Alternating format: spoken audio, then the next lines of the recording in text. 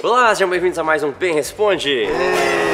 Mais do que especial, porque a gente tá o quê, Kaká? Estamos na final. Classificadíssimos, sem turbulências, com facilidade, o time sólido, que desde o começo do split, na primeira semana, todo mundo já sabia que a gente ia se classificar para essa final em BH. Acho que o pessoal não sabia não, estavam bolados. Eles estavam muito bolados.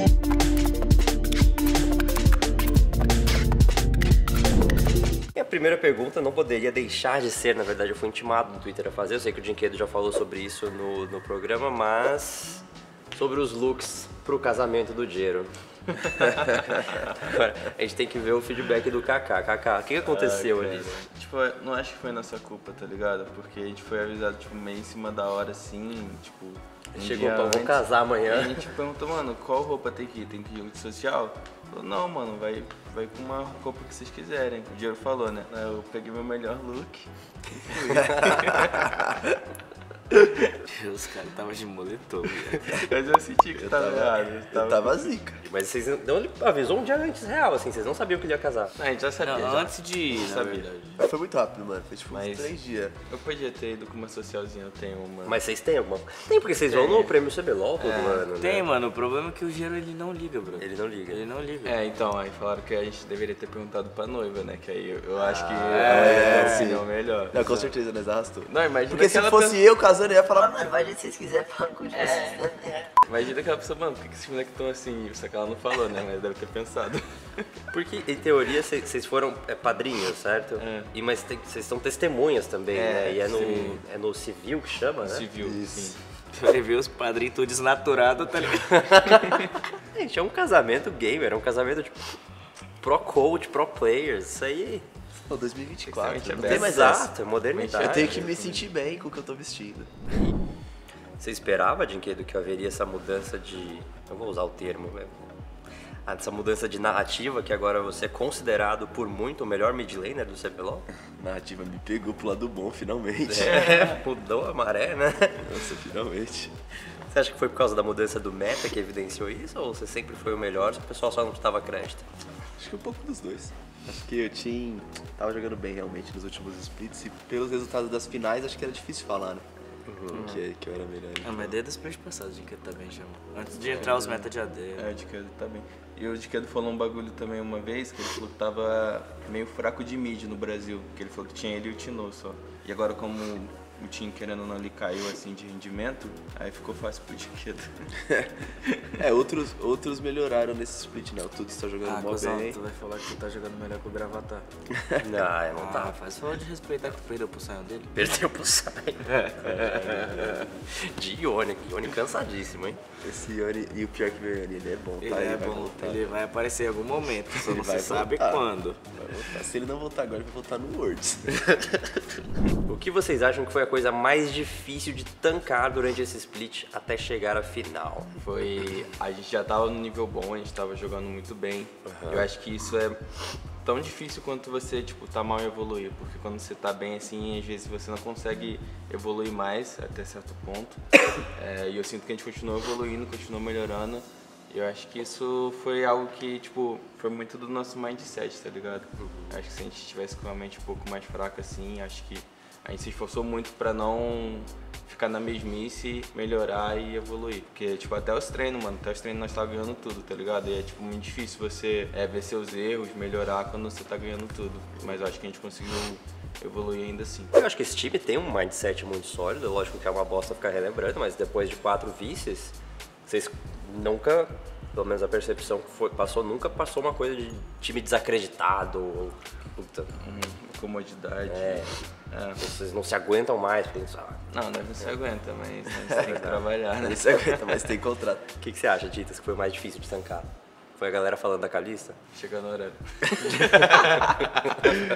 Chega no horário, foi pá, difícil mesmo. É difícil. O frio foi o mais difícil desse split, sem sacanagem. Pra levantar, olha, falar pra vocês.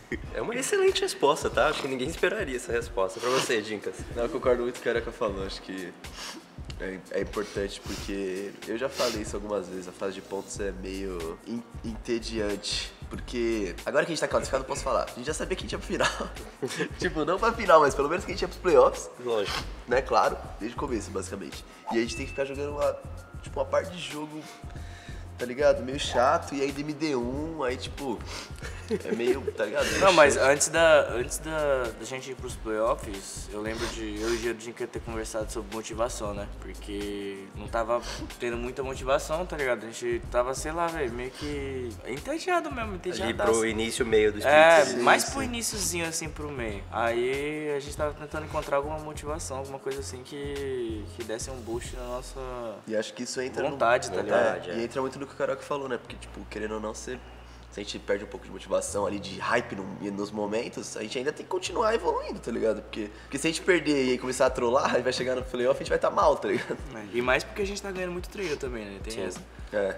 É interessante esse ponto. Vocês acham que isso se dá um pouco pela discrepância de nível que os times tinham? Tipo, al- que sim, alguns né? finais de semana era muito divertido e outros era puta. Sim, jogar contra a que. Los hoje. É, nós merecemos, mas, pô, tem time que não tá bem. E acho que, eu tinha, acho que tinha muito time esquisito nesse, nesse Tinha, split, né?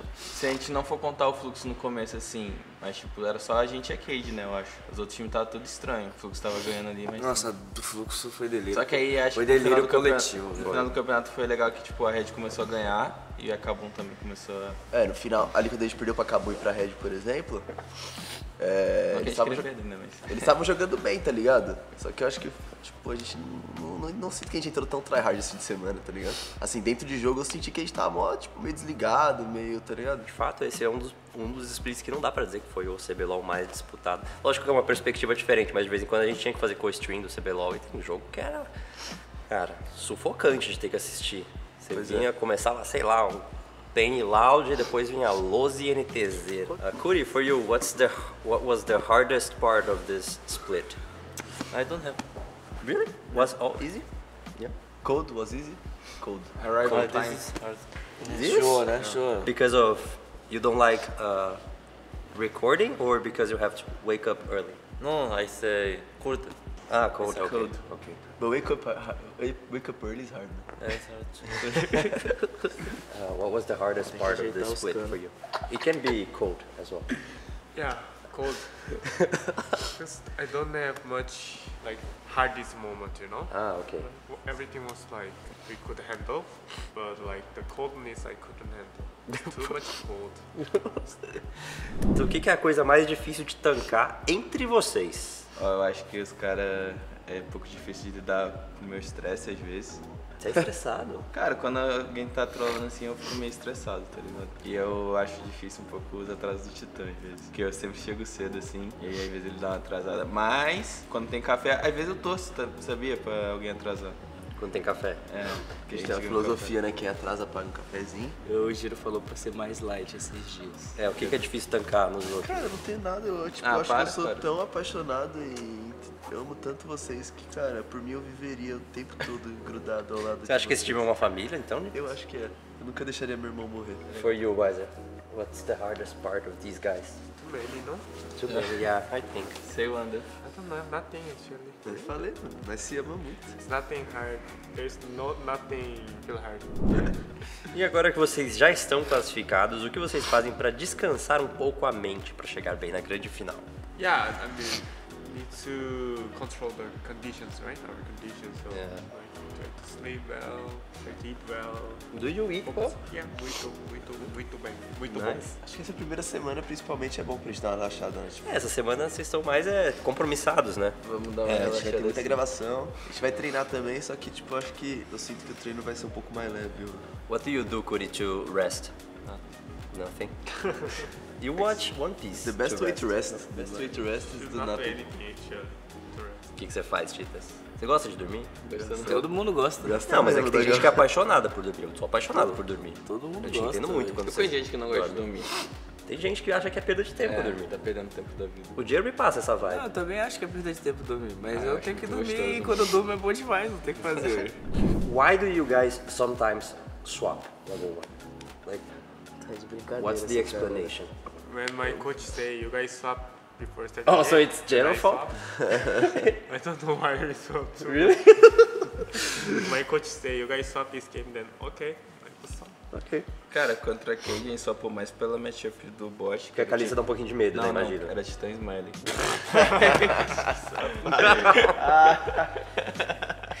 o swap hoje em dia ele tem muitos motivos, velho. Pode qualquer coisa é motivo pra swapar. Mano, o swap é. depende. Depende da situação. Depende do mood. É, vambora pra next. Tá bom. Depende do mood. Yeah, yeah, yeah. Depende do mood. Quando o mood tá, tá bom, a gente swapa. Quando tá ruim, não swapa.